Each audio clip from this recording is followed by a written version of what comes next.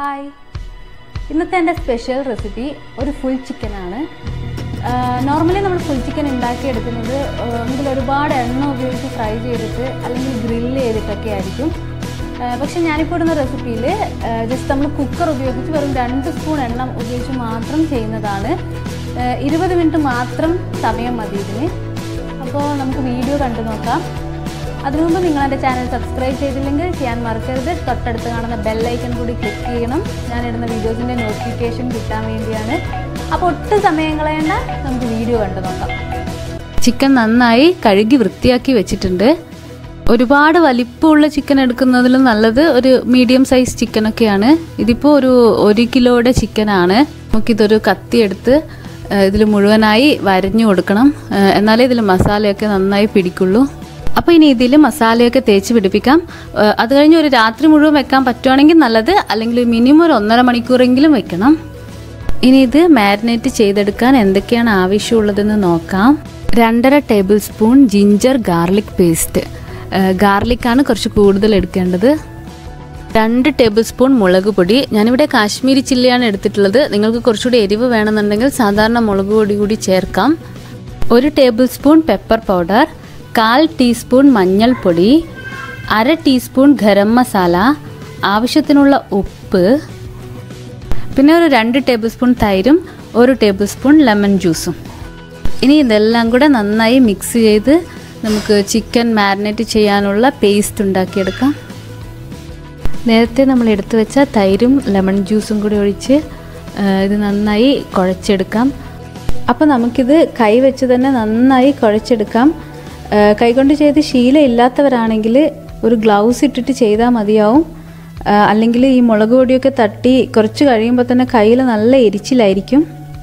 ഇതിപ്പോൾ ഒരു നല്ല തിക്ക് പേസ്റ്റായിട്ടാണുള്ളത് അതുകൊണ്ട് ഞാനിതിലൊരു രണ്ട് ടേബിൾ സ്പൂൺ വെള്ളം കൂടി ഒഴിച്ച് ഒന്നുകൂടി കുറച്ച് ലൂസാക്കി എടുക്കുന്നുണ്ട്. അപ്പോൾ നമുക്കിത് ചിക്കനിലേക്ക് നന്നായി തേച്ച് പിടിപ്പിക്കാം. നേരത്തെ നമ്മൾ കത്തി കൊണ്ട് വരയിട്ട് കൊടുത്ത ഭാഗത്തും ചിക്കൻ അടിയിലും അങ്ങനെ മുഴുവനായി എല്ലാ ഭാഗത്തും നന്നായി മസാല തേച്ച് പിടിപ്പിക്കാം. അപ്പോൾ ഇത് മുഴുവനായി മസാല തേച്ച് വെച്ചിട്ടുണ്ട്. ഇതിന് മിനിമം ഒരു ഒന്നര മണിക്കൂറെങ്കിലും റെസ്റ്റ് ചെയ്യാനായി വെക്കണം. ഇനി ഇത് ഫ്രിഡ്ജിലേക്ക് എടുത്ത് വയ്ക്കാം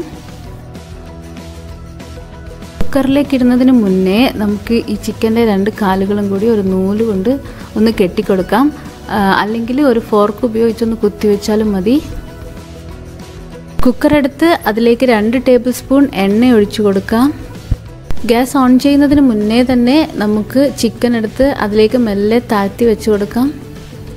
എല്ലാ ഭാഗവും കുക്കറിലേക്ക് താഴ്ന്ന് കുറച്ച് ഫിറ്റായി നിൽക്കുന്ന വിധത്തിൽ വേണം വെക്കാൻ. ഇനി ഗ്യാസ് ഓൺ ചെയ്ത് കൊടുക്കാം. എണ്ണ നന്നായി തിളച്ച് വരുന്ന സമയം വരെ നമുക്ക് ഹൈ ഫ്ലെയിമിൽ തന്നെ ഇട്ട് വയ്ക്കാം അത് കഴിഞ്ഞ് ലോ ഫ്ലെയിമിലേക്ക് മാറ്റിയാൽ മതി. ഒരു ഇരുപത് മിനിറ്റാണ് ഇതിന്റെ കുക്കിംഗ് ടൈം കുക്കറിൽ വിസിലിട്ടിട്ട് തന്നെ വെച്ചാൽ മതി. അപ്പോൾ ഏകദേശം ഒരു ഇരുപത് മിനിറ്റ് ആയിട്ടുണ്ട്. കുക്കറിലെ എയറൊക്കെ പോയതിന് ശേഷം നമുക്ക് പതുക്കെ മൂടി തുറന്ന് നോക്കാം. ചിക്കൻ ആ മസാലയിലും വെളുത്തുള്ളിയിലൊക്കെ കിടന്ന് വെന്ത് വരുന്ന നല്ലൊരു സ്മെല്ലൊക്കെ വരുന്നുണ്ട്. നന്നായി വെന്ത് വന്നിട്ടുണ്ട്. ഇനി നമുക്ക് ഈ ചിക്കൻ പതുക്കെ പാത്രത്തിലോട്ട് മാറ്റാം.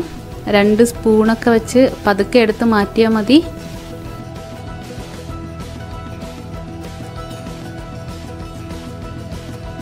ഇതിന്റെ ഉൾഭാഗമൊക്കെ നന്നായി വെന്ത് വന്നിട്ടുണ്ട്. ഇനി നമുക്കിതിന്റെ പുറത്ത് ഒന്ന് ഫ്രൈ ചെയ്തെടുക്കണം ലൈറ്റായിട്ട്. അതിനു വേണ്ടി ഒരു ചട്ടിയിൽ ഞാനിവിടെ രണ്ട് ടേബിൾ സ്പൂൺ എണ്ണ ഒഴിച്ചിട്ടുണ്ട്. നോൺ സ്റ്റിക്ക് പാൻ ആണെങ്കിൽ കുറച്ചുകൂടി നല്ലതായിരിക്കും. ഇനി നമുക്ക് ചിക്കൻ ഇതിലേക്ക് ഇട്ട് കൊടുക്കാം.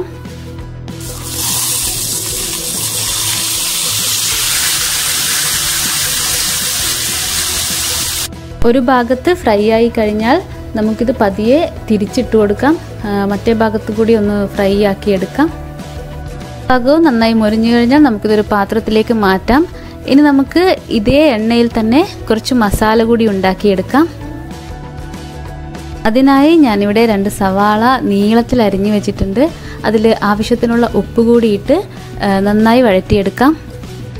ഞാനിവിടെ ഒരു ഒരു ടേബിൾ സ്പൂണോളം ജിഞ്ചർ ഗാർലിക് പേസ്റ്റ് കൂടി ഇട്ടിട്ടുണ്ട്. പിന്നെ കാൽ ടീസ്പൂൺ മഞ്ഞൾപ്പൊടി. ഈ ഇഞ്ചിയുടെയും വെളുത്തുള്ളിയുടെയൊക്കെ പച്ചമണം മാറുന്നത് വരെ ഒന്ന് നന്നായി വഴറ്റിയെടുക്കാം. ഒരു കാൽ ടീസ്പൂൺ ഗരം മസാല ആവശ്യത്തിനുള്ള മുളക് പൊടി കൂടി ചേർത്ത് വീണ്ടും നന്നായി വഴറ്റി കൊടുക്കാം ഞാൻ എരിവില്ലാത്തതുകൊണ്ട് കുറച്ച് പെപ്പർ പൗഡർ കൂടി ചേർക്കുന്നുണ്ട്. നിങ്ങൾ ടേസ്റ്റൊക്കെ നോക്കി എരിവ് എത്രയാണെന്നൊക്കെ വെച്ചാൽ അഡ്ജസ്റ്റ് ചെയ്ത് ഇട്ടാൽ മതി. അതിനുശേഷം ഒരു മീഡിയം സൈസുള്ള പഴുത്ത തക്കാളി കൂടി കട്ട് ചെയ്ത് ചേർക്കുന്നുണ്ട്. എന്നിട്ടിത് നന്നായി വെന്ത് വരുന്നത് വരെ നമുക്ക് ഇളക്കിക്കൊണ്ടിരിക്കാം. തക്കാളിയൊക്കെ വെന്ത് ഇതൊക്കെ നല്ല മിക്സായി വരുന്ന സമയത്ത് നമുക്ക് കുറച്ച് കറിവേപ്പില കൂടി ചേർക്കാം. അപ്പോൾ ഇതിൽ തക്കാളിയൊക്കെ ഫ്രൈ ആയി ഇതിൽ വെള്ളമൊക്കെ വറ്റി വരുന്ന സമയത്ത് ഞാൻ നമ്മൾ നേരത്തെ കുക്കറിൽ ചിക്കൻ വേവിച്ചതിന്റെ ബാക്കി ഉണ്ടായിരുന്ന ആ ഗ്രേവി ഞാനൊരു മൂന്ന് നാല് സ്പൂണ് ഈ മസാലയിലേക്ക് ഒഴിച്ചിട്ടുണ്ട്. അപ്പോൾ ഇത് ആ ചിക്കന്റെ ഒരു ഫ്ലേവറും സ്മെല്ലും ഒക്കെ ഇതിന് കിട്ടാൻ വേണ്ടിയാണ് അങ്ങനെ ചെയ്തത്. ഇനി നമ്മൾ ഫ്രൈ ചെയ്ത് മാറ്റിവെച്ച ചിക്കൻ ഈ മസാലയിലേക്ക് ഇട്ട് കൊടുക്കാം. ചിക്കനെ മുഴുവനായി ഈ മസാലയിട്ട് നമുക്ക് കവർ ചെയ്തെടുക്കാം.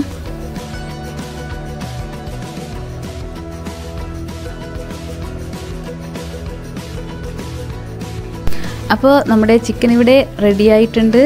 ഇനി നമുക്ക് ഇതൊരു സെർവിങ് ഡിഷിലേക്ക് മാറ്റാം.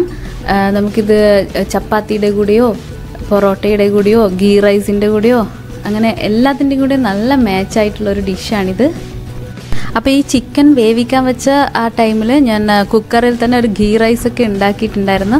അപ്പോൾ അതിന്റെ റെസിപ്പി ഞാൻ വേറൊരു വീഡിയോയിൽ ഇടുന്നതായിരിക്കും. ഇത് ഒരുപാട് ലെങ്ത്ത് കൂടുതലായിപ്പോയി വീഡിയോ ഈ ചിക്കന്റെ അകത്തൊക്കെ കാണിക്കാൻ വേണ്ടി ഒന്ന് കട്ട് ചെയ്തെടുത്തതാണ്. ഉള്ളിലൊക്കെ നന്നായി വെന്തിട്ടുണ്ട്. മസാലയുടെയൊക്കെ നല്ല ടേസ്റ്റ് ഉണ്ട് വളരെ എളുപ്പത്തിൽ ചെയ്യാൻ പറ്റുന്ന ഒരു റെസിപ്പിയാണ്. നിങ്ങളെല്ലാവരും ട്രൈ ചെയ്ത് നോക്കണം. അപ്പോൾ നിങ്ങൾ ഇതുവരെ ഈ ചാനൽ സബ്സ്ക്രൈബ് ചെയ്തില്ലെങ്കിൽ ചെയ്യാൻ മറക്കരുത്. ലൈക്ക് ചെയ്യുക ഷെയർ ചെയ്യുക സപ്പോർട്ട് ചെയ്യുക. അപ്പോൾ വേറൊരു റെസിപ്പിയുമായി അടുത്ത വീഡിയോയിൽ കാണാം. ബൈ.